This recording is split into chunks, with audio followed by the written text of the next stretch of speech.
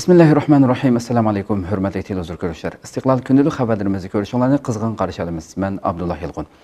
Proqramımızda vətənimiz Şərq Türkistan və dünyada olub atqan gün tərtibdəki xəbərlərini huzurunuza sunuşduruşumuz. Qənimsə diqqətinizlər ekranımız olsun.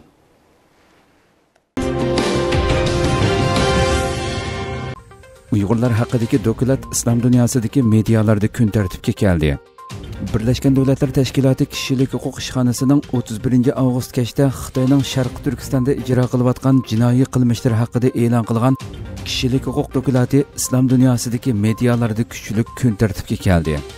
Al jazira kanali dokulat haqida ziyorat programmasi ishlagan bo'lib programmada sharqi turkiston axborot va media jamiyati istiqlol televiziyasi raisi doktor abdulvaris abdulxoliqni ziyorat qildi. Abdulvaris apandi muxbirning dokulat haqida so'ragan savollarga javob berib bdt dokulatida tilga ilingan xitoyning atalmish tarbiyalash markazi deb atab olgan jazo lagerlaridagi qiyin qistoqqa elish nachar muomala qilish jumladan noma'lum dorini majburiy yegizish nachar sharoitda tutib turish oyoq osti qilish va vahshiylarcha zo'ravonlik qilish qatorliq jinoyatlarning haqiqatan mavjud ekanligini Әмма документ яна уйғурларны Хытай белән той кылышка мәҗбурлаш, балалар лагере шарайты начар орында камаш, сот кылынмай өлем җәзасы иҗра кылыш, уйғур яшьләрен Хытай өлкәләргә сүргүн кылып, мәҗбүри әмгәккә селиш дигәндәк җинаи кылмышларның тилгә илинмәганлыгын белдерде. Arab 9-cı qanalı Şərqi Türkistan Yeni Nəsil Hərəkəti rəisi Abdusalam Təklimakanı ziyarət qılıb, Şərqi Türkistanın növbətdəki vəziyyətini gün tərtibə gətirdi. Ondan başqa Ərəbcə əxbar qanalı Qanatul Ghad arabcha sky news kanali fransuz 24 kanali qanatul an qatorliq kanallar dokulat haqida xabar berdi hamda maxsus ziyorat programmasi ishladi bular ichidagi qisman kanallar sharq turkistonning navbatdagi vaziyatidan xabardor kishilarni ziyorat qilish orqali dokulatni tunishtirdi ba'zi kanallar dokulat haqida xabar e'lon qilish bilan birga xitoyning dokulatda tilga ilingan sharq turkistonning navbatdagi vaziyat ahvoli haqidagi po'latdak paketlarni inkor qilib qalaymaqon biljirilganligini xabar qildi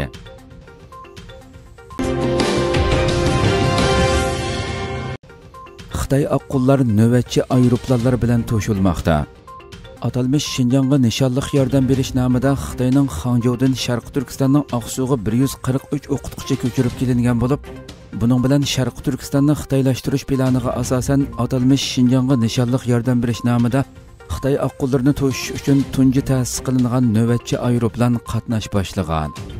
Xitoy yaqinqi yillarda sharqi turkiston xalqiga irqiy qirg'inchilik siyosiy yurgizish bilan birga xitoy ko'chmanlarini sharqi turkistonga jalb qilish uchun turli qatnash qurilishiga zo'r ko'lamda xarajat ajratgan.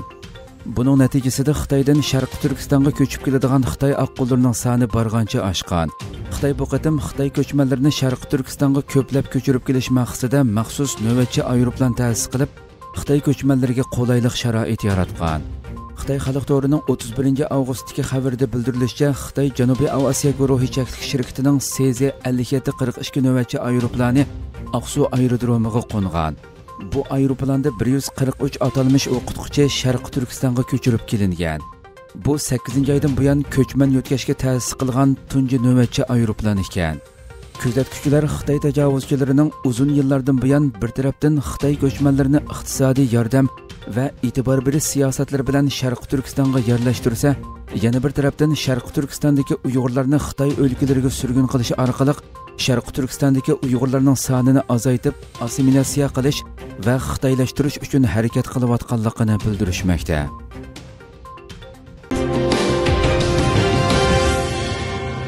Үрümçidə atalmış 3 günlük тұрғын халетті башқұрыш yoluna qoyuldu. Xitay dairələri Ürümçi xalqını texmi qattiq qamal qilish məqsədində atalmış 3 günlük тұрғын халетті башқұрыш tüzümünü yola qoydu. Xitay xalq torunun 2-ci sentyabr'dakı xəbərdə bildirilishicha, Xitay dairələri Ürümçi xalqını texmi qattiq qamal qilish məqsədində atalmış 3 günlük turg'un halatda başquruş tüzümünü yola qoyğan. Atalmish tuzumda yana uyg'urlar bir qadar ko'p bo'lgan tangritog' rayoni saybog' rayonidagi o'ttira yuqori xavflik rayonlar yanada bir qadar ko'p shundoqla tuvan xavflik rayonlar bilan giralishib ketgan. Bu rayondagi nupusning zichligi yuqori yuqumdan mudofialanish va uni tizginlash muhiti murakkab. Virusning yushurun tarqalishidagi aniqsiz xavf xatar yanada mavjud. Bo'libmi yaqinda mahallada aholi bo'yicha tarqalib yuqumlanganlar ko'rildi deyilgan. Mazkur tuzumda yana moddiy ashyo to'sh usulini o'zgartib har kuni to'shishni bir qatimda uch kunlikdan ortiq oilada lozimliq moddiy ashyolarni to'shishga o'zgartildi deyilgan.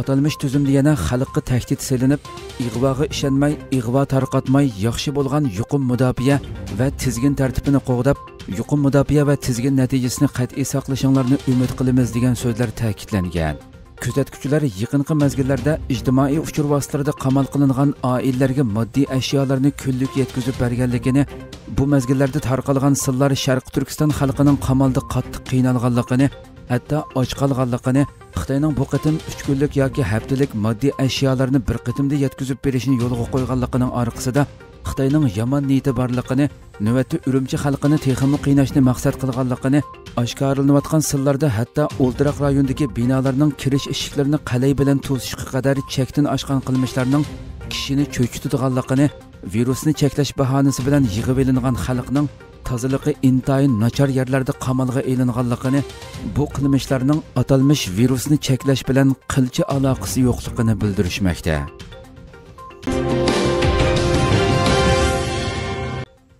Təşkilatlar Birliki heyəti Malayşiyada dövlət ərbabı bilan görüşdü. Xalqara Şərq Türkistan Təşkilatlar Birliki heyəti Şərq Türkistan xalq diplomatiyası planına əsasən 2 sentyabr Malayşiya paytaxtı Kuala Lumpurga yetib berib xizmətlərini başladı. Xalqaro sharq turkiston tashkilotlari birligi raisi hidoyatulla o'g'izxon bilan birlikning bosh kotibi abdurashid aminhojidan tashkillangan hay'at 1 sentabr kechda turkiyadan yo'lga chiqib ikkinchi sentabr malayziya poytaxti kuala lumpurga yetib berib xizmatlarini rasmiy boshladi.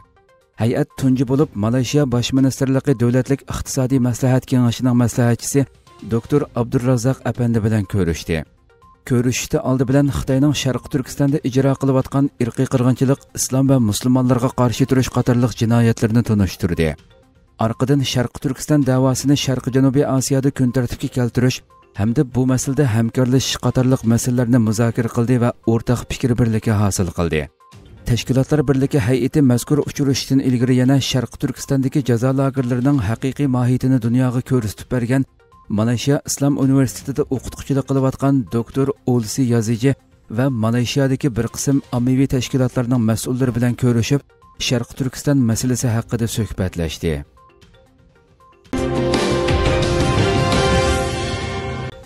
To'qsu nohiyasida yer davridi. Sharq turkistonning oqsu viloyati to'qsu o'nda ikki bal yer davrigan bo'lib markaziy cho'nqurliqi o'ttiz kilometr ekan xitoy yer davrash idorasining ma'lumotiga qaraganda uchinchi sentabr shu joy vaqti oltidan ellik to'rt minut o'tganda oqsu viloyati to'qsu noyisi shimoliy kenglik qirq bir yigirma sakkiz gradus sharqiy uzunlik sakson ikki butun o'ndan nol ikki gradus doirasida uch butun o'nda ikki bal yer davrigan bo'lib tavrash markazining cho'nqurliqi o'ttiz kilometr ekan. Xitoy doirlari texchi tavrigan rayonning odam zich rayon yoki emasligi haqida hech qanday ma'lumot bermagan. Xitoyning chengdu shahri taqaldi xitoyning sikvan o'lkasining markaziy chengdu shahri xitoy virusiga munosabatli voqealar sababidan qamal qilindi. Turkiya ovozi radiosi xabarida bildirilishicha sikvanning chengdu shahrining xitoy virusi sababidan taqalganligi bildirildi. Chengdu shahri guangdong o'lkasidagi shenjin shahridan keyin mushu hafta ichida karantin ostiga ilingan ikkinchi cho'ng shahar bo'lib qoldi. Chengdu shaharlik hukumatning bu bayonotida 21 million nupusliq shaharda 1 sentabr kechdan boshlab ko'chaga chiqishning cheklanganligi va 4 kun bo'yicha kollektiv tekshirishlarning qilindiganligi eskartildi fuqarolarning tekshirishdan boshqa vaqtlarda sirtqa chiqmasligi talab qilindi har bir oiladan bir kishining kundalik turmush ehtiyoji uchun ruxsat qilindiganligi qayd qilindi shaharda kundalik turmush ehtiyojini qamdaydigan talla bozorlari dorixonalar va to'p tarqitish shirkatlaridan boshqa barliq korxona shirkatlar vaqtliq taqaldi restoran va oshxonalarning zakosdan boshqa talablar uchun mulozimat qilishi man'iy qilindi. Yo'lga qo'yilgan tadbirlar sababidan 1 sentabrda 2022-2023 yillik o'quv o'qitishni boshlamoqchi bo'lgan maktablarning ochilishi kechiktirildi ikki aerodromning mingga yaqin aeroplan safari amaldan qoldirildi.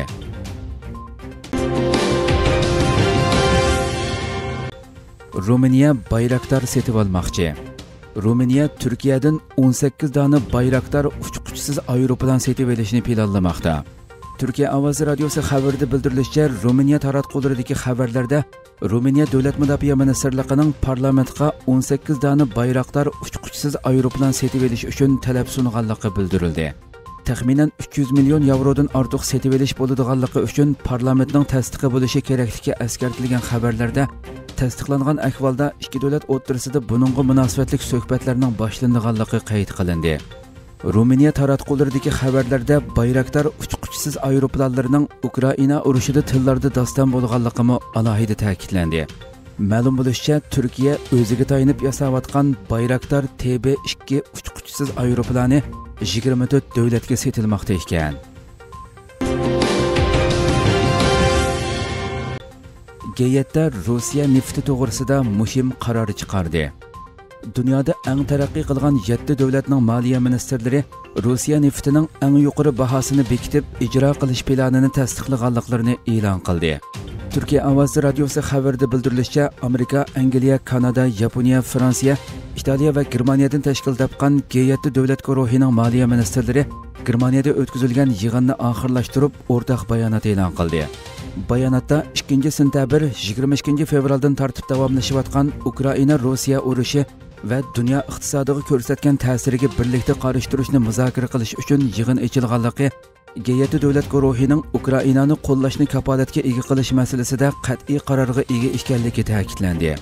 Bayonotda iyun oyida ochilgan g davlat guruhida chiqarilgan qarorlarga amal qilindiganligi Шуңа Россияның хам нефти ва нефт mahsulotlariga baho bekitib ijro qilish planining tasdiqlanganligi bildirildi.